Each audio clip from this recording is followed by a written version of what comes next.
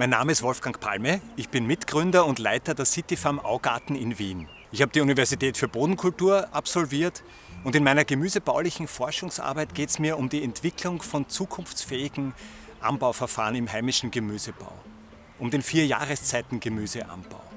Hier aber in der City Farm gärtnern wir mit Kindern und Erwachsenen, mit klein und groß und vermitteln die Freude am Gemüse, die Freude an einem nachhaltigen Lebensstil. Gießen ist die hohe Kunst des Gärtnerns.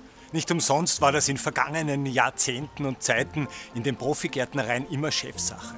Naja, so kompliziert ist es auch wieder nicht. Aber ein paar Dinge muss man schon bedenken, wenn man seine Gemüsepflanzen gut mit Wasser versorgen will. Und das ist es, was sie unbedingt brauchen. Sie brauchen Wasser. Vor allem im Sommer, wenn es wirklich heiß ist, schlappt das Gemüse zu Mittag, wenn nicht genug Wasser vorhanden ist. Und wann muss man jetzt am besten gießen?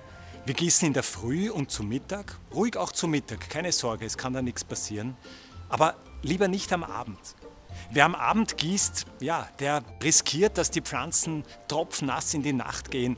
Und das kann wirklich zu unangenehmen Pilzinfektionen führen. Im Sommer können dann Zucchini und Tomaten schon relativ rasch von diesen unangenehmen Pilzkrankheiten befallen werden und vorzeitig äh, abschließen. Das wollen wir ja nicht. Und wenn wir gießen, dann auf jeden Fall ausreichend. Nicht einfach nur einmal so geschwind einmal drüber, sondern wirklich gründlich und bis zehn zählen auf jeder Fläche im Beet, wo man hingießt. Und wer keine Tröpfchenbewässerung am Beet hat, der ist gut bedient, wenn er einen Schlauch hat.